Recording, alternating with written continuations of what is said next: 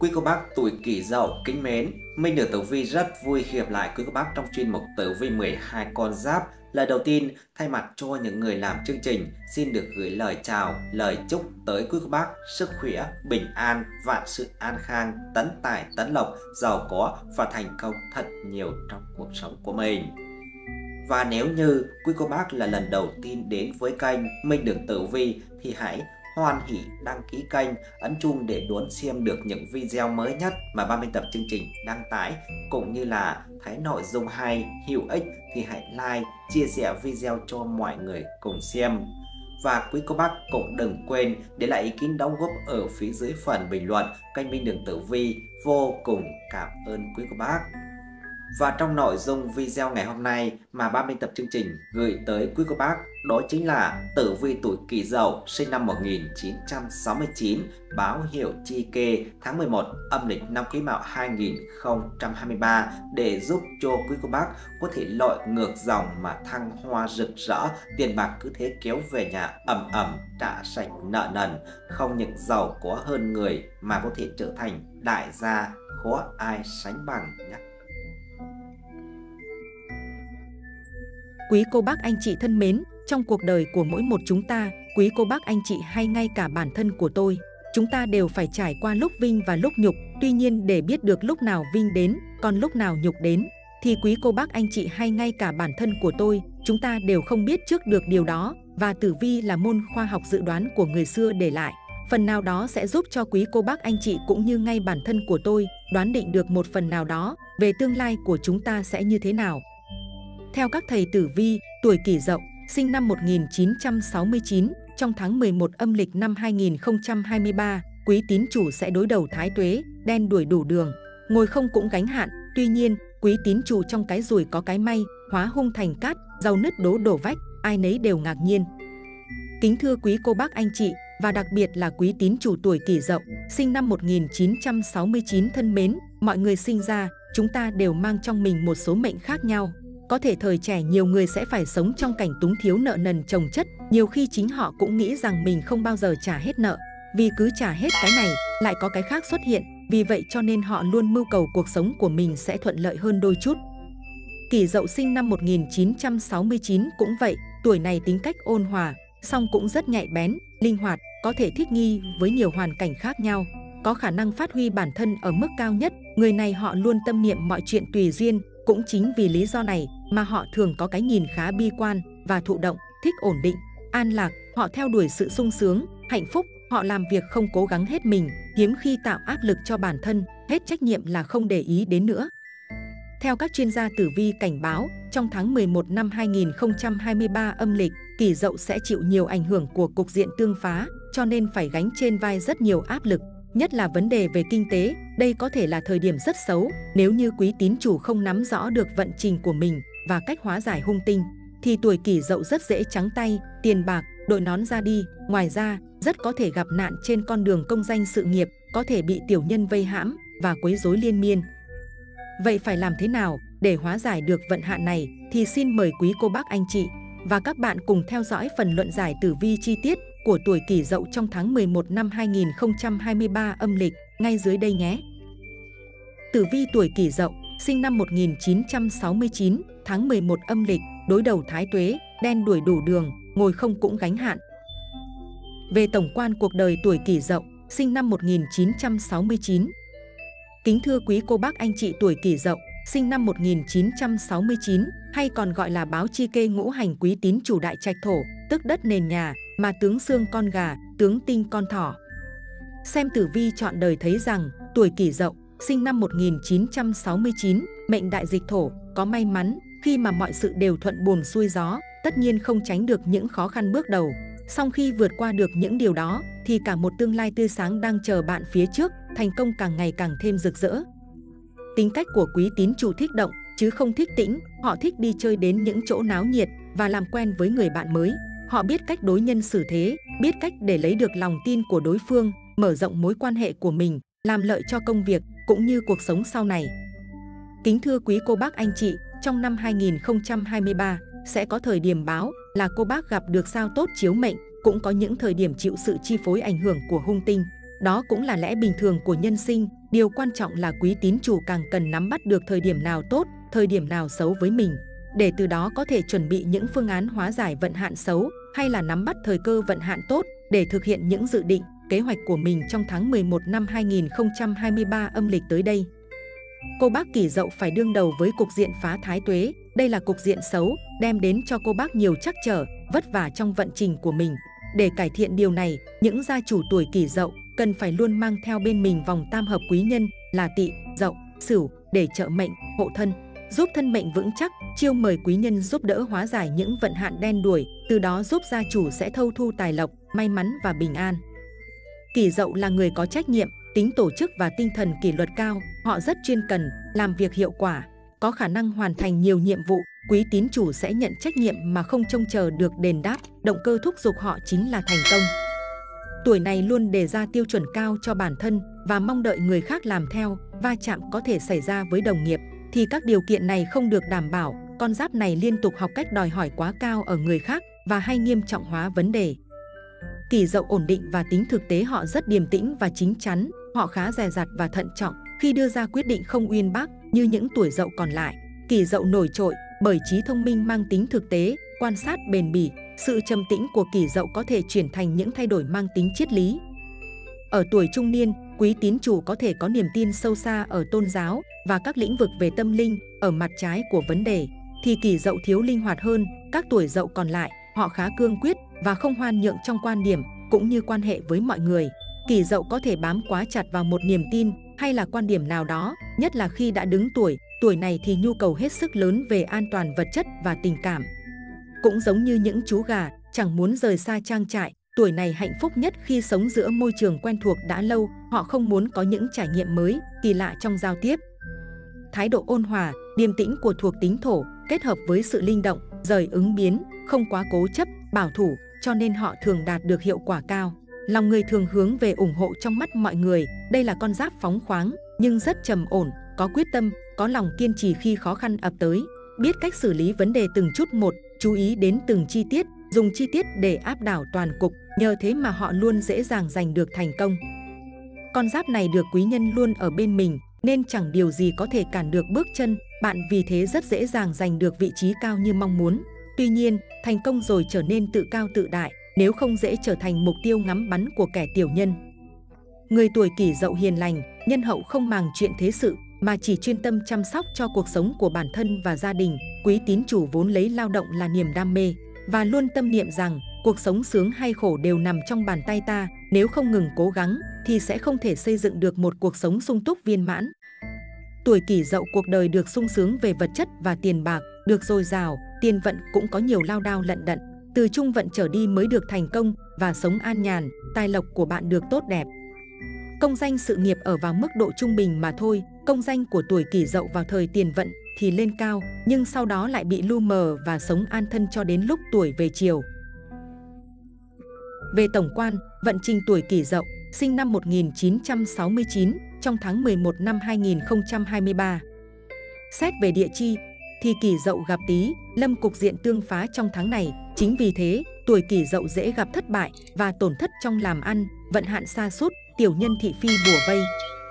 Xét về mối quan hệ thiên can, kỳ âm thổ gặp giáp dương mộc là chính quan, đại diện cho quan chức tốt, chính trực trong chính quyền điều hành xã hội mà con người phải tuân theo pháp luật nhà nước. Trong tháng này, vì thế tuổi kỷ dậu cần chú ý lời ăn tiếng nói cẩn thận, những thị phi từ miệng mà ra.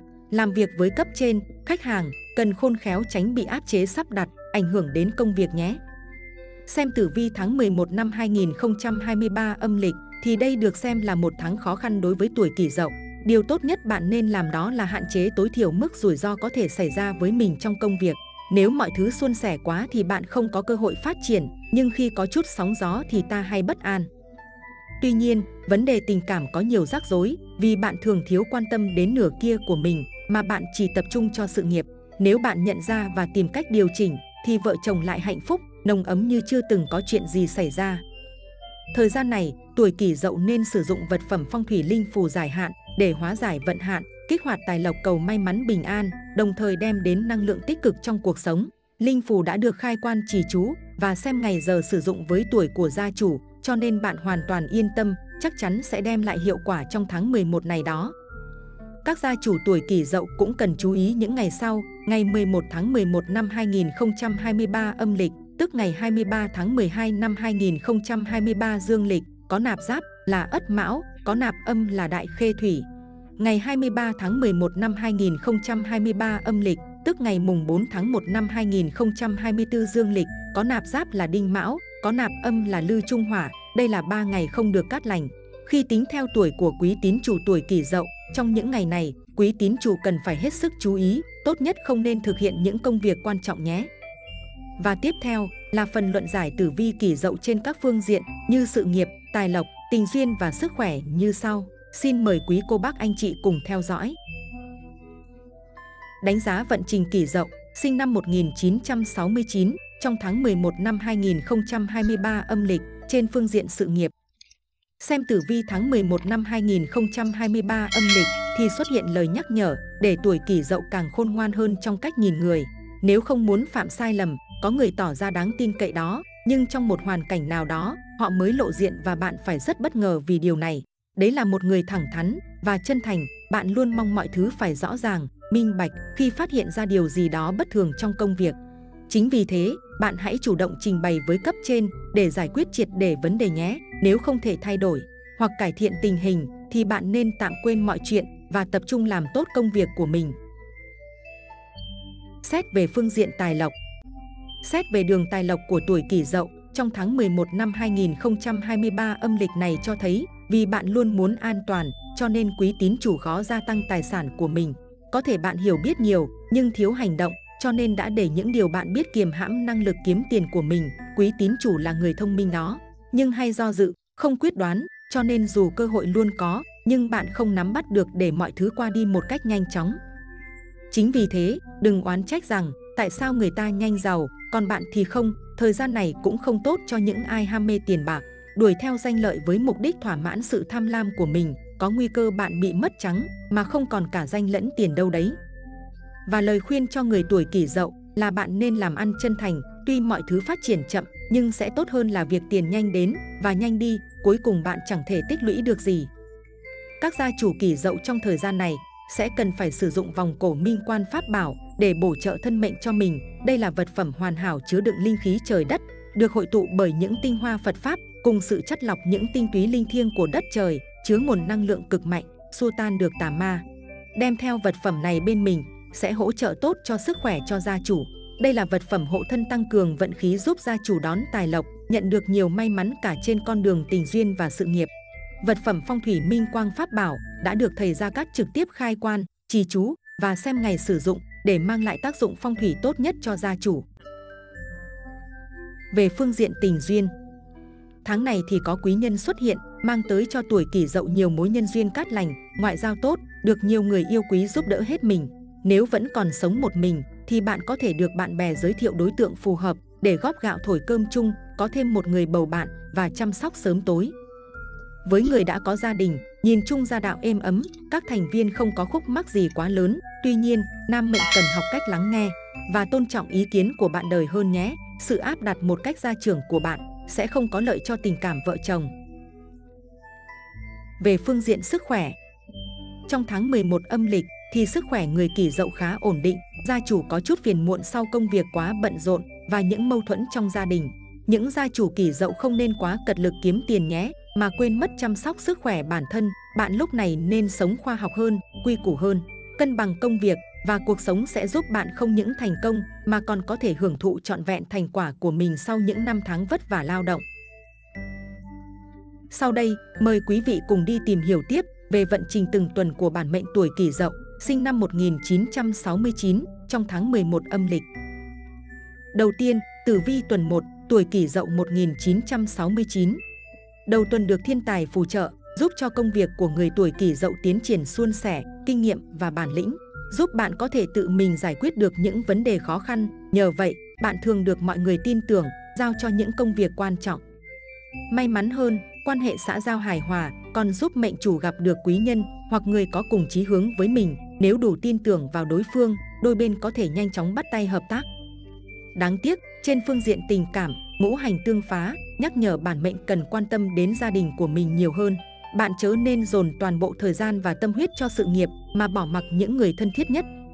Song đào hoa vượng nên tinh thần của bản mệnh những ngày này luôn phơi phới, kỳ dậu nên nhìn nhận vấn đề ở một khía cạnh khác để thấy rằng hạnh phúc vẫn luôn ở bên mình.